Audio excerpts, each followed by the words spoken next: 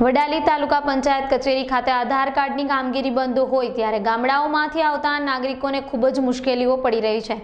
ત્યારે ભૂમિ ફાઉન્ડેશન સંસ્થા અને નાગરિકો દ્વારા મામલતદાર કચેરી ખાતે આવેદનપત્ર પાઠવવામાં આવ્યું હતું, જેમાં આધાર કાર્ડમાં સુધારા કરવા તેમજ વિધવા પેન્શન, આવક અને જાતિના દાખલા માટે મંગાવતા સ્ટેમ્પની પ્રથા દૂર કરવાની સરકારી સહાયમાં લાભ લઈ શકે તે અંગે માંગ કરાઈ હતી. બેબીનું આધાર કાર્ડ કઢાવવા આવું છું. તાલુકા પંચાયતમાં ચાર પાંચ ધક્કા થયા પણ આધાર કાર્ડનું કોઈ નીકળતું નહીં. જણાઈએ ત્યાંનું બંધ હોય છે. તે ઠાકોર થઈને જગ્યાએ ઠાકરડા કરાવવાનું છે. કેટલા ધક્કા ધક્કા ખાવાના? જણાવીએ ત્યાંનું બંધ હોય છે. અહીંયાથી શું કહેવામાં આવે છે તમને? અહીંયાથી એમ કે કે બંધ છે. તે પાછા તે કે ખુલશે ખુલશે તે ક્યારે આવશે એમ. તે આધાર કાર્ડ કઢાવવા માટે મારે મારે કેટલા ધક્કા ખાવાના? આ છોકરાઓ હા સાહેબ મારે મારે આધાર કાર્ડ હતું ખરું પણ સાહેબ મારું આધાર આધાર કાર્ડ ખોવાઈ ગયેલું છે. એટલા માટે હું પંદર દિવસ સિવાય ધક્કા કહું છું પણ સાહેબ મારું આધાર કાર્ડ નીકળતું નહીં. કઈ જગ્યાએ આવો હાલ માલપુર માલપુરથી? કઈ જગ્યાએ આવ્યા હાલ હોય આપણે તાલુકા. તાલુકા. પંચાયતમાં. શું કીધું તમને? તાલુકા પંચાયત સાહેબ એમાં કેડમાં મારે ખાલી ખોવાઈ જ કેડ છે પણ ખાલી નંબર નહીં એટલો મારો.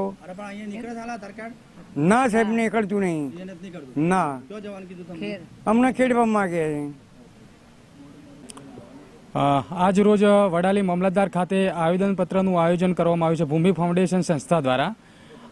મુખ્ય કારણ એક છે કે વડાલી તાલુકાના ગામડાઓના જે ગરીબ લોકો છે એમને અત્યારે વિધવા પેન્શનનું ફોર્મ ભરવાનું હોય અથવા કોઈ બી સરકારી લાભ લેવા માટે આધાર કાર્ડની ખૂબ જ જરૂર પડે છે.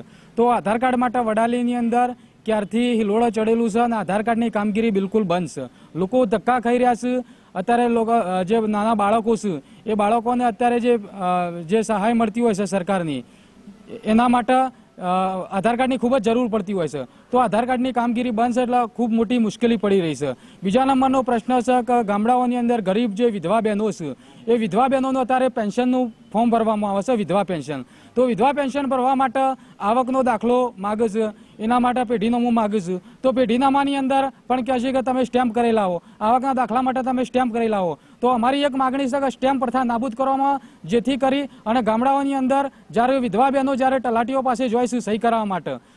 તો એ વખતે એમને કહે છે કે તમે ઘરવેરો ભરો, તો જ તમારે અમે સહી કરીએ. તો અમારી એક જ માગણી છે કે અહીંયા સ્ટેમ્પ પ્રથા નાબૂદ કરવામાં આવે અને જે ગરીબ વિધવા બહેનો છે, એ ગ્રામ પંચાયતની અંદર જોય, તો એમને તાત્કાલિક એ સહયોગ કરી આપવું જેથી કરીને સરકારશ્રીનો લાભ લઈ શકે. બીજો એક મુદ્દો છે કે ગામડાઓની અંદર ગરીબ લોકોએ જે ઝૂંપડપટ્ટીઓમાં, ઝુંપડપટ્ટીઓમાં જે મકાન બનાવેલો છે, એ મકાનોની અંદર જે પોતાના ફાર્મ હાઉસની અંદર મકાન બનાવ્યા હોય, તેમને જે ચોવીસ કલાક જે ગામડાની અંદર જે વીજળી મળતી હોય છે, એનો લાભ મળે અને એ લોકોને એમના મકાન સુધી એમને લાભ મળે. કારણ કે એમને લાભ મળતો નથી. એટલે જે ખરાબાની અંદર મકાન બનાવ્યા હોય અથવા તો પોતાના ફાર્મ હાઉસની અંદર બનાવ્યા હોય, તેને એનો લાભ મળે.